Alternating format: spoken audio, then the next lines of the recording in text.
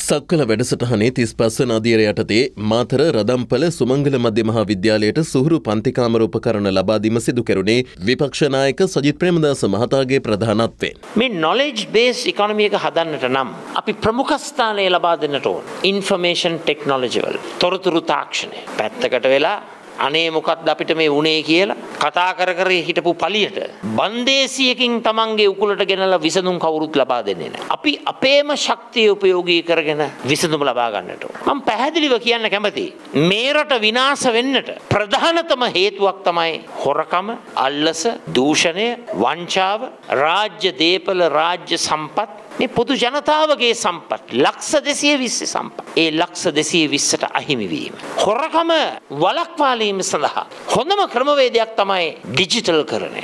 Digitisation කියලා කිය. Digital කරණය කිරීම තුළ හොරකම වංචාව අවම වෙනවා. අපේ රටෙන් හොරාකාපු අරමුදල් මේ රටේ සුළු පවුල් සමූහයක් එකට එකතු වෙලා. තමන්ට රිසිසේ ජනතාවගේ කරපිටින් හිසමතින් රාජ්‍ය බලයට ඇවිල්ල. මන්දිරවල ජීවත් වෙලා. රටේ සීමිත සම්පත් හොරාකාලා. ඒ හොරාකාපු සම්පත තුළින් අද සුර සැප විදිනවා. පාසල් දූදරුවා සරසවි ශිෂ්‍ය ශිෂ්‍යාව.